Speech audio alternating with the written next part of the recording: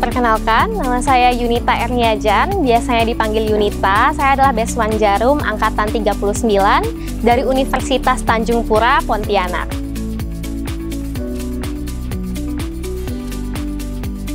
Saya terbiasa menulis banyak hal sejak kecil. Oleh sebab itu, banyak sekali tumpukan kertas di kamar saya, hampir memenuhi seluruh kamar saya. Saya merasa ada sesuatu yang salah di antara saya dan barang-barang ini dikarenakan saya memiliki ikatan emosional yang sangat kuat untuk menyingkirkannya. Ternyata problematika ini juga terjadi pada banyak masyarakat lainnya ditambah dengan banyaknya tren-tren di TikTok dan media sosial yang menunjukkan pembongkaran kos yang berisikan sampah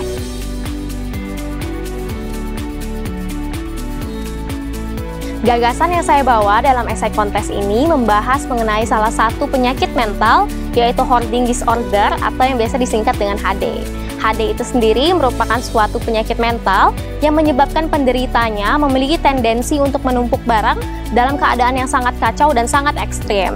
Sehingga dalam gagasan saya, saya mengajukan sebuah pusat rehab yang akan dibarengi nantinya dengan bantuan decluttering ataupun bantuan pembersihan.